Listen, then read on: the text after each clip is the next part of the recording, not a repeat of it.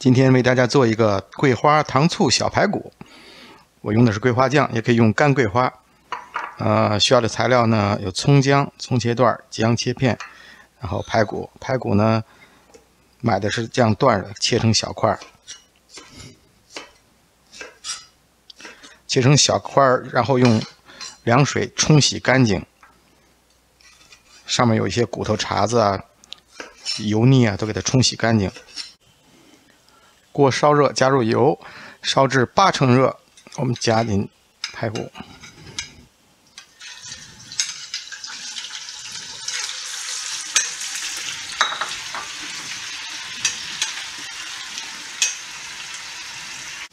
炸至排骨变色，我们可以捞出。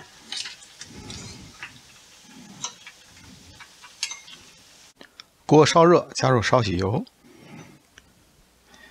加入切好的葱姜，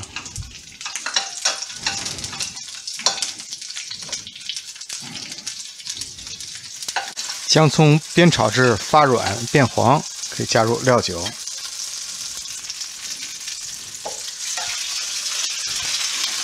一点点的生抽。老抽呢是为了上色，所以加一点，颜色好看。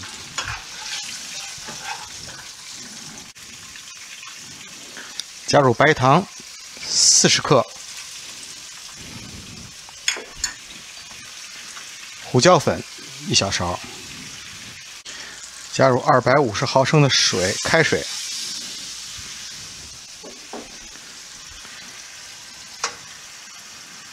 下入，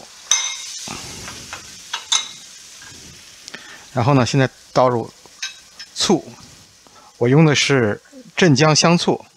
先来一个大半勺，因为醋会挥发，所以现在加多少都没有问题。排骨烧开后，我们盖上盖子，用中火烧四十五分钟。时间已经到了，我们看现在开的已经汁儿已经收的差不多了，把里边的葱姜挑出来，然后呢，我们还需要再加一些醋，因为醋在烹调过程之中呢，它会挥发的。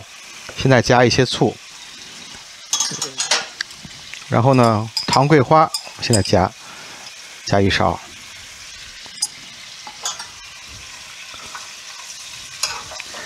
现在大火收汁，现在汤汁已经基本收干了，颜色也非常好，油亮。现在就可以出锅了。呃，这盘桂花糖醋小排就做好了，放点香菜在旁边。撒点葱花在上边，大家看这颜色怎么样？非常漂亮，谢谢大家。